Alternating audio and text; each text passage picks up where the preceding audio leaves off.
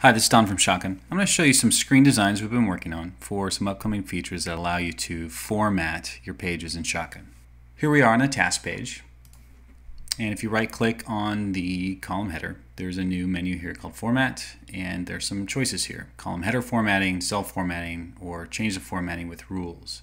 So let's click on the column header formatting, and up comes a dialog.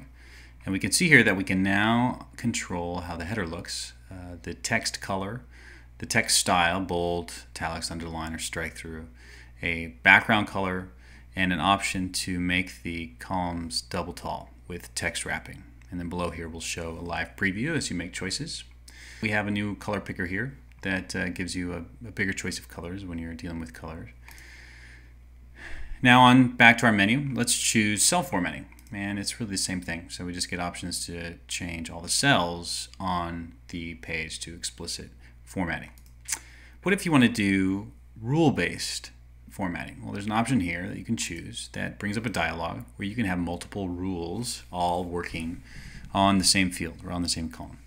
Now these rules can be toggled on or off and you can drag and drop the order now the order helps us to figure out what to do if there's a conflict. The one on top will always win we'll see a description here with a preview of the formatting with the background color, the text color and style. Option to edit, duplicate, or delete. And if you click add a new rule, you get a dialog like this that allows you to define a query. By default, it's choosing the field that you're on, but you can make the query on any field. Uh, and you can add as many query rows as you want. This allows you to do things like say if the end date is before today, but the status is not yet final, then we want to make the cell color red. So below here, you can define what the style should be if this condition is met with a preview. And then below, you can fill in a description that we'll use for a tooltip and the legend. If you don't fill one in, we'll try and figure out a good one based on uh, these two things, the query that you put together and the formatting uh, but you can override that and make nice compact descriptions. Here's another option with checkboxes.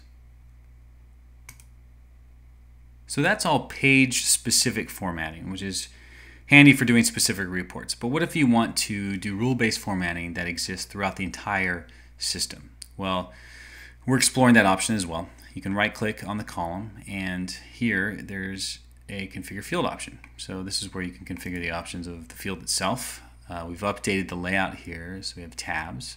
First tab is general. This allows you to choose the field type, uh, description for tooltips, which will show when you hover over the column header, uh, an option to set the default summary calculation when summaries are turned on.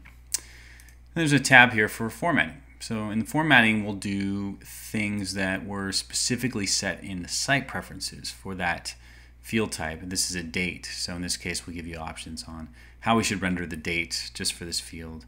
You can explicitly decide to format the field, or you can create rules for this field. This is that same UI in here that we saw before that allows you to create, edit, and delete your rules. Couple other tabs here that we might have in the future for defining some triggers or automation and defining permissions at the field level. And then we have an advanced tab here where we'll tuck some of the more advanced features such as opting to sort by another field and ensuring unique values per project for this field. So those are the screen designs that we've been working through and trying to figure out how we're going to implement the formatting inside of Shotgun. We'd love to hear your feedback.